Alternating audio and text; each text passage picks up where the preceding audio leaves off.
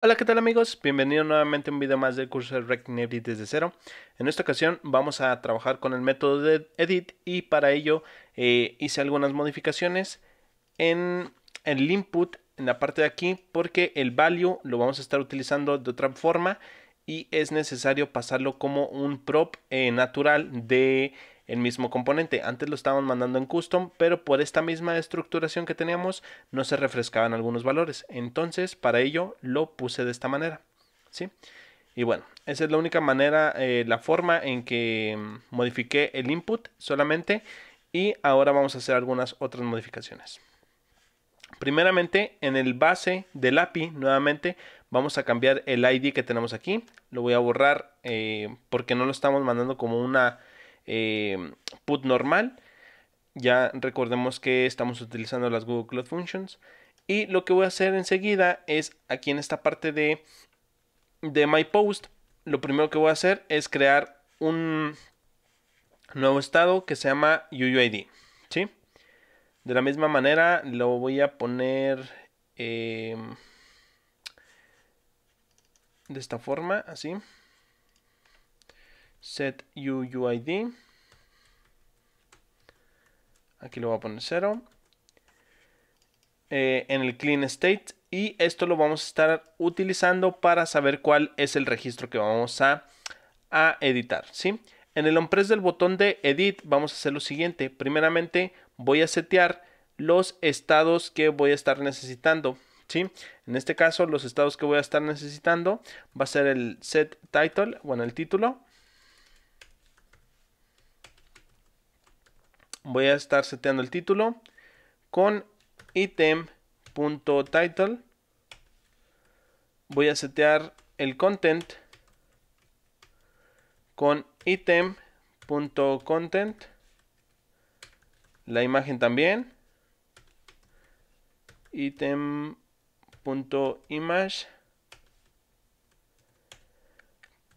También voy a estar usando el UUID, el nuevo que acabamos de crear para saber cuál voy a editar. Punto UUID. Y por último, para mostrar el modal, porque necesito mostrar este mismo modal, pero con todos los datos llenos, le voy a poner en el set view un true. ¿Sí?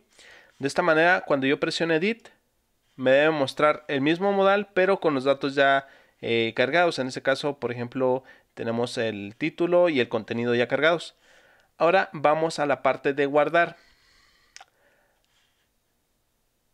Aquí, en la parte de, de donde estamos guardando, que es donde estamos haciendo el post, vamos a preguntar algo. Vamos a preguntar si existe el UUID y si sí existe, bueno, aquí voy a poner el else también. Si no existe, voy a hacer un post. Pero si, si existe un dato eh, seleccionado, voy a hacer un, un put de lugar de un post. ¿sí? Aquí voy a agregar put. Voy a mandar exactamente los mismos datos, los mismos datos que tenemos aquí en el post. Lo voy a mandar. Y dentro del den voy a estar recibiendo data, igual que en, el post. Y lo que vamos a hacer aquí va a ser lo siguiente. Primeramente vamos a buscar el index del post que se le hizo la modificación. ¿sí? Aquí voy a poner set post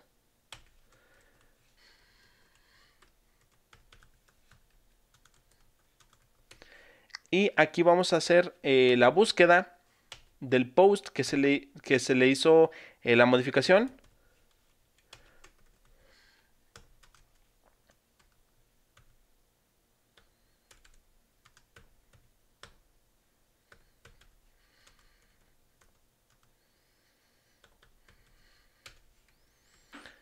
Esto nos devuelve el index. Este es un método de los arreglos lo que hace es ejecutarme esta función y cada, cuando me dé el primer true me devuelve el index de esa coincidencia. ¿Sí? entonces ya tengo el index y ahora lo que voy a hacer es lo siguiente. Decirle que post en la posición index va a ser igual a data. ¿Sí? De esta forma. Y después lo que voy a hacer es lo siguiente. Retornar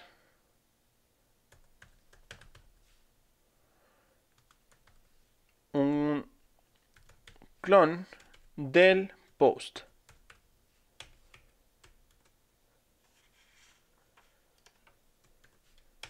Después de esto, pues solamente ejecuto la función de clean states. Y vamos a ver si esto funciona. Voy a poner en editar.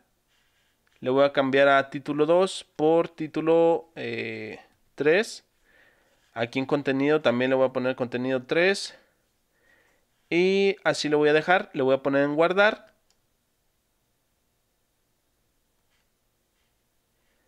Aquí tenemos un error que dice 404. Es porque no estamos mandando el UUID. En este caso hay que mandarlo también. UUID. Esto fue lo que se nos olvidó en esta parte. Y ahora sí voy a dar en guardar.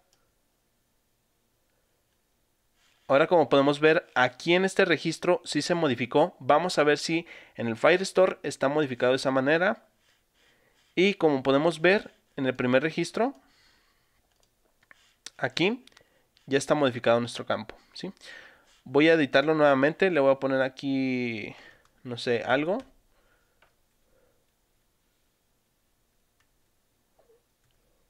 De esta manera le voy a dar en Save. Aquí está eh, la nueva palabra. Vamos a ver si esto se modificó. Y como podemos ver aquí, bueno, aquí en esta parte ya está modificado. ¿Sí? En esa parte. Y pues bueno, básicamente lo único que hicimos fue acceder al objeto y a su método de put. En este mandamos todos los datos igual que en el post, más el UUID para hacer referencia a cuál objeto o a cuál registro vamos a estar modificando. ¿sí? Y pues básicamente eso ha sido todo de, la, de, cómo editar los registros. Y pues em, de momento ha, sido todo. Solamente queda para la aplicación la parte de post para renderizar toda la lista. Y pues nada. Eh, espero que les haya gustado el video y nos vemos en la próxima.